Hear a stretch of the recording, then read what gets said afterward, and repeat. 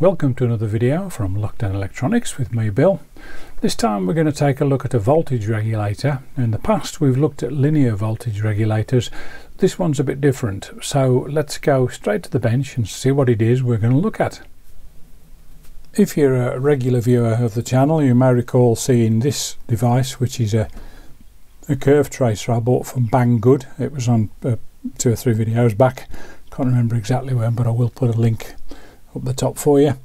Uh, and I was amused at the time that uh, the semiconductors, most of them have had their uh, identification um, numbers etched off them, uh, which I always find ironic for the Chinese to do that. They're um, very keen to copy anything they can get, but uh, seem ever to not want people to copy them. Oh well, there you go.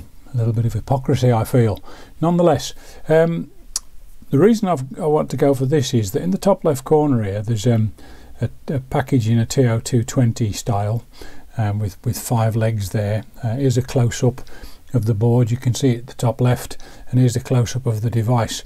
And it's in proximity with the um, barrel jack input of the 24 volts. Um, so it's a voltage regulator. I think we can be fairly safe there. And it's highly likely it's an LM2575 um, uh, switching regulator. So even though it's had the uh, markings etched off it, if if we power up the um, the board uh, and measure the voltage on pin 2 there, which is the output, we get about 12 volts. So it's highly likely a LM2575 uh, 12 volt version. Um, so the, you know these are cheap and cheerful and not um, uh, anything particularly secret about that. So it does amuse me that they spent time and money etching, uh, removing the the um, the numbering off there. Anyway, not that that matters. Uh, so that's what we're going to look at. So let's start by looking at, um, at what uh, the datasheet etc. has to say about this uh, particular device. The LM2575 then, uh, as previously mentioned, the version I'm going to use is in a TO220 style package uh, other other package styles are available as ever. If you're going to uh, mess about with these kind of things, have a good look at the um, the data sheets. They contain far more information than uh, than you'll get from this video. Um, so why bother with um, with one of these switching regulators? Well, firstly, they're more efficient than linear regulators. Um, and because of that, more efficient equals they generate less heat um, obviously waste less power. So if battery lives are concerned, they're obviously better from that perspective. Uh, if you don't want to, to put large heat sinks on, again, um, that's uh, also an advantage. Um, up to 37 volts output and up to 40 volts input. Now that those two figures are pretty much the same as the LM317, which is an adjustable um, uh, linear regulator. However, of course, the two points at the top will apply to the linear regulator that it, this is more efficient than that and obviously we generate less heat. Uh, and the the 2575 has thermal and current limit protection. Okay so what's in the case then? Well here's a, a diagram an internal diagram taken from the uh, from the data sheet. And uh, it's a five pin package so the voltage goes in at pin 1 and comes out of pin 2 um, pin 3 is ground and pin 4 sorry pin 5 is um, gives you the ability to control the output to turn it on or off using um, uh, logic level. So pin 5 is an active low input if you like uh, it's bar on. So if, if we tie pin 5 low the regulator will be on. If we take that to TTL high it'll be off. So you've got the ability to control the regulator should you wish. Um, for the purposes of this video I'm just going to tie that to ground and uh, finally um, pin 4 is feedback which actually measures the um, voltage output and that's what does the um, uh, the comparison and therefore um, allows the regulator to make its adjustments as uh, as time progresses okay so let's have a look at um, the kind of circuit we're going to use with that uh, this is taken pretty much from the from the data sheet. The only addition there is the 1N4001 diode there is half wave rectification for my AC input and uh, perhaps note the unusual arrangement for the uh, 220 microfarad capacitors and the uh, 1N5819 diode, they all go to the same earth point. That's really just to make the point that you need to think about the arrangements of leads if you're going to be uh, doing this on a, a, printed circuit board. That matters. It needs to be um, fairly close together, not too many long uh, runs though. That's what the datasheet says anyway. Um, I can't really do that on a breadboard so I've just attempted to make the most compact arrangement I possibly can. Now the 1N5819 is a Schottky diode. Um, it's not just any old diode so just be aware of that. Um, relatively easy to get hold of though.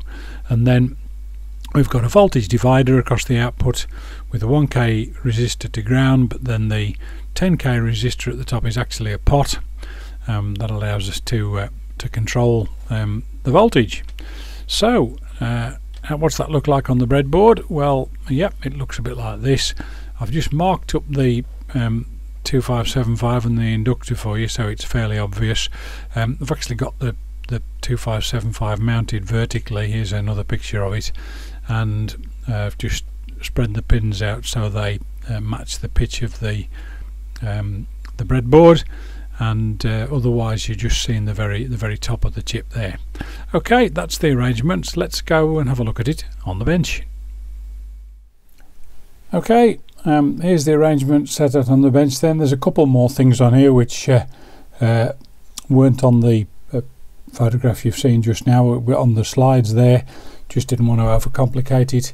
Essentially what we've got is on the blue and orange wires here we've got about 24 volts AC coming in. Uh, that's the uh, half wave rectification diode. The rest of the circuit is as described. And then here on the output we've just got an LED with a fairly high value about 3k current limiting resistor this is so I don't burn out the, the LED with um, something as high as uh, as 10 volts. So um, that's the 1k resistor that's the trimmer pot and that's the inductor down there. Schottky diode is hidden down there or Schottky sorry. So let's just uh, see what happens when we adjust the potentiometer. So you can see we can lower it right down we can get down to about well, just under 1.3 volts. Obviously the LED isn't lit at that point uh, and then we can go right up. If I turn it as far as it'll go about 13 and a half volts. And if you think about the fact you've got 24 volts AC half wave rectified yeah that's um, that's pretty good to get um, 13 and a half volts out of there. So there we go. Let's have a look um, how that appears on the traces. So I've got two um, traces attached on the scope here for you to see. Yellow trace is the AC waveform going in and that's at uh, 20 volts per division so you can see we have got that um, about 24 volts as described. Uh, and the blue trace uh, is in DC coupling and that's the DC output taken off the uh, off the LED there on that uh, little orange jumper. So if I just do some adjustment again you can see the blue line moves up and down in line with um, the voltage adjustment.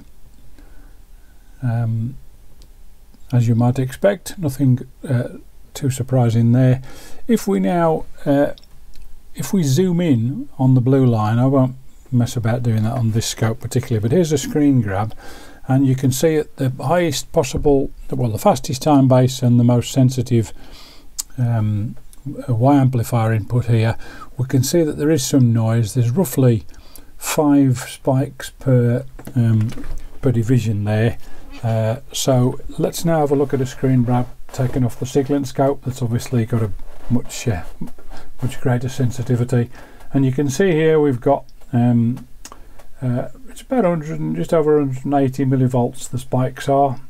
And uh, the frequency is about 47.6 kilohertz according to the two cursors. So yes there is noise. Now to get that level of noise uh, I had to add uh, well I, I, set the output to 10 volts and I put some high wattage resistors across here and those that, that noise measurement was taken at about uh, 100 milliamps.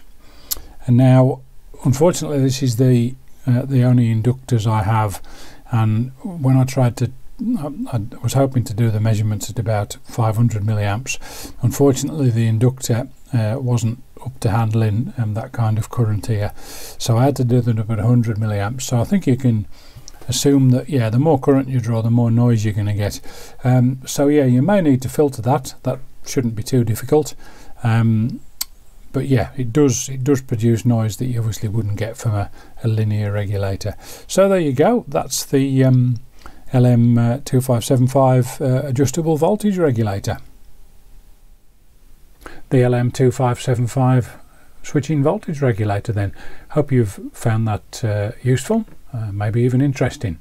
Um, and as long as you bear in mind the potential uh, noise on the output and take precautions as is appropriate, I'm sure uh, uh, that's potentially a very useful device.